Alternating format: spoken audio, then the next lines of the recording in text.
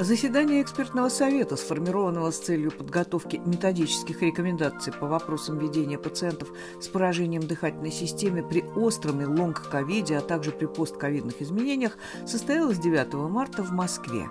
Для участия в работе совета были приглашены пульмонологи, терапевты, лучевые диагносты, патоморфологи, специалисты по медицинской реабилитации и инфекционисты. Надо сказать, что практически все э, ведущие специалисты откликнулись, и сегодня у нас прошло первое заседание экспертного совета, очень бурная дискуссия, начиная от дефиниции тех повреждений, которые видим, интерпретации этих изменений.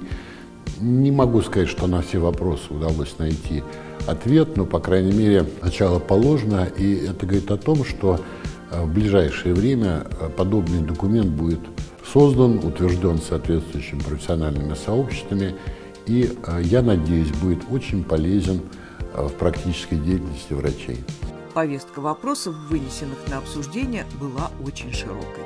Как оказалось, действительно есть белые пятна, которые касаются и определения, то есть дефиниции, и подходов к назначению терапии медикаментозной, немедикаментозной, ведению пациентов как в острой, так и в период после завершения инфекции. Думаю, будет достаточно большая интересная работа, которая поможет нашим врачам, которые находятся в полях, то есть в реальной клинической практике, подходить к ведению наших пациентов со сложными проблемами с большей уверенностью.